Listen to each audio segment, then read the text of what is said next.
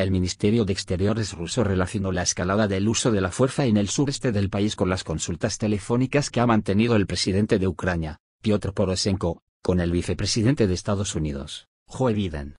En el comunicado emitido por el Ministerio sobre la situación en Ucrania, atribuye también el aumento de actividad militar a la conversación telefónica del canciller ucraniano Pavel Klinkin con su homólogo británico, William Hague.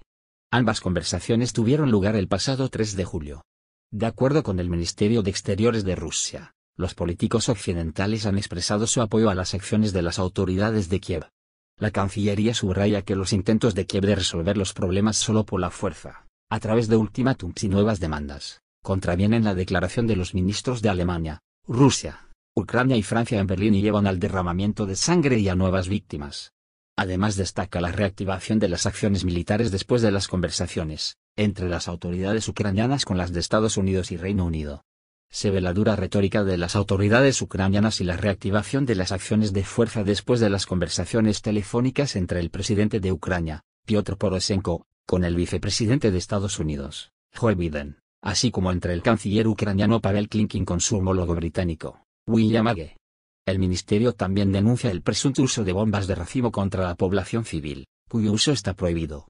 Es desconcertante el comentario descarado del Ministerio de Exteriores británico, que contiene acusaciones manidas y sin fundamento en contra de Rusia sobre el suministro de armas a las autodefensas.